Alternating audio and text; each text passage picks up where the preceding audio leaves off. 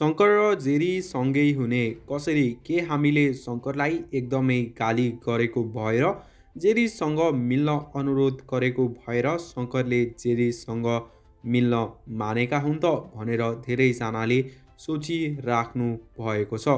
लामो समयदेखि जेरी र शङ्करको डिभोर्सपछि नै धेरैजनाले शङ्करलाई गाली गरिराख्नु भएको थियो। जेरीसँग मिल्नुपर्छ भनेर धेरैजनाले सुझाव पनि दिनुभएको थियो। तर शङ्कर भने जेरीसँग अझसम्म पनि मिलेका थिएनन्। शङ्करलाई गाली गरिराख्नु भएको छ।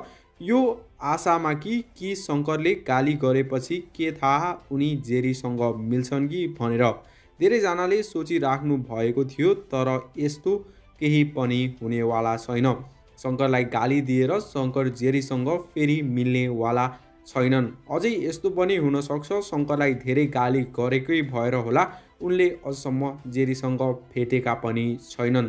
त्यसकारण हामीले गाली गर्न कम गर्नुपर्छ बरु सुझाव दिन सकिन्छ।